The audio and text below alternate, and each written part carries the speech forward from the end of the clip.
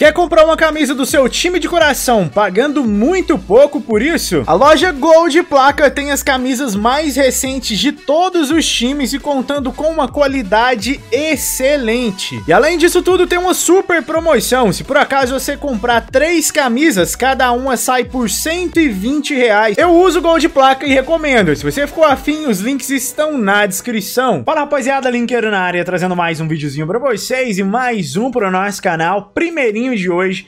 Caso você goste desse conteúdo, que você se chique nesse canal, Lá no finalzinho, se valer a pena pra você, cara, deixa aquele seu like insano aí embaixo. E também se inscreve no canal e ativa o sininho pra não perder nenhuma novidade em relação ao FIFA Ultimate Team. Ontem vazou essa tela de carregamento, que na sexta-feira teremos o início de um novo evento. Então, com a finalização do TOTS, normalmente em FIFAs anteriores, a gente tinha o evento Summer Hit. Mas acredito eu que a EA vai deixar o evento Summer Hit para utilizar em um futuro próximo. E ela vai aproveitar o momento do futebol que tá acontecendo para realmente ter uma promoção diferente aqui dentro do game. Espero eu que seja realmente uma promoção legal e que realmente tenham bons DMEs, que tenha um bom time e tudo mais.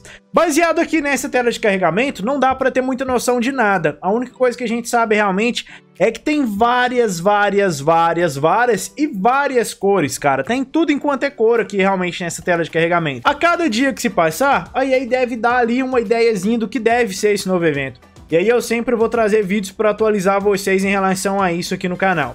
Nesse vídeo, então, eu vou falar para vocês o que eu acredito que seja esse novo evento que começa na sexta-feira. Nessa parte aqui, meu rosto vai estar tá um pouco branco demais, justamente por causa da câmera. Eu já falei para vocês, já pedi outro cabo, deve estar tá quase chegando. E, cara, lá no FIFA 18, a gente teve um evento que chamou Fute, é, Festival, Festival de Futebol. Esse evento, ele cobria a Copa do Mundo. E o que, que a gente está tendo atualmente? Copa América e Eurocopa. A EA não tem a licença da Eurocopa, então não tem como ela fazer uma DLC, não tem como ela fazer, por exemplo, um evento baseado na Eurocopa, baseado, por exemplo, um TOT GS ou cartas da Eurocopa que upam. Isso acredito eu que não dá para ela fazer.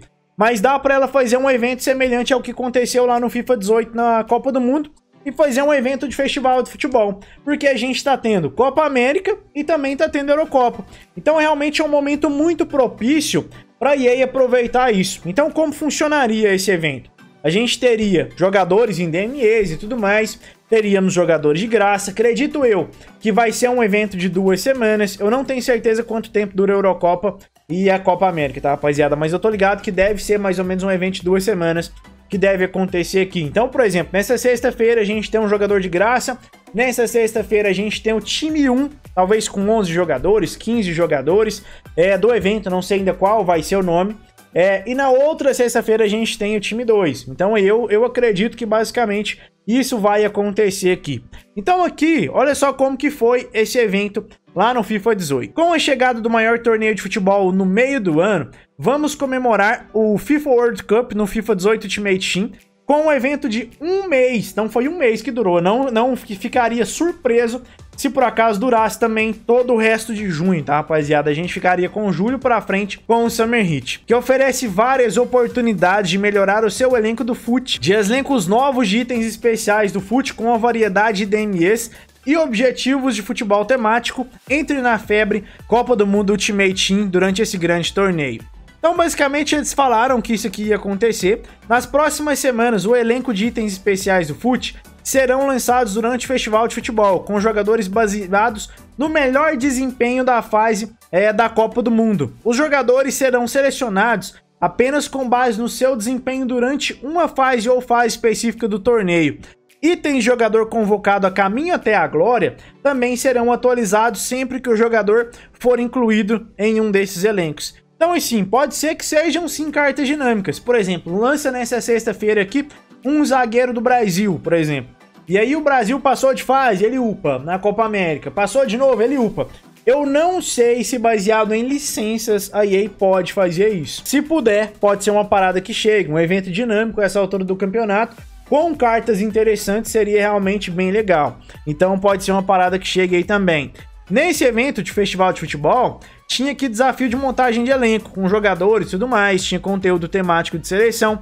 Então, basicamente, eu acho que a EA não vai deixar passar essa grande oportunidade de ter um evento, que é um evento ali, Copa América e Eurocopa, se eu não me engano, é de dois em dois anos. Então, realmente, ela não vai deixar passar, cara. Se por acaso não for nada de carta que recebe upgrade e tudo mais, acredito eu que a gente deve ter ali é, uma seleção é, DMEs também, tipo, ser uma seleção com jogadores desses países, né? Por exemplo, jogadores lá brasileiros, jogadores argentinos, jogadores belgas, jogadores espanhóis, jogadores ingleses, portugueses, para realmente dar uma movimentada aqui no mercado. Então, basicamente, eu acredito que isso vai acontecer. Só para que vocês vejam aqui no FIFA 18 que foi realmente um evento muito, muito, muito, muito movimentado.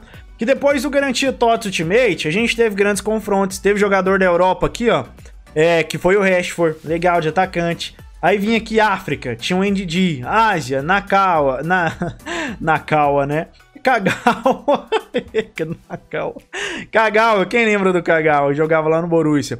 Vidal, beleza. Aqui na época era realmente por causa da Copa do Mundo, mas pode se repetir porque tá rolando dois torneios aí simultâneos, né? Então pode ser um grande evento realmente dessa forma.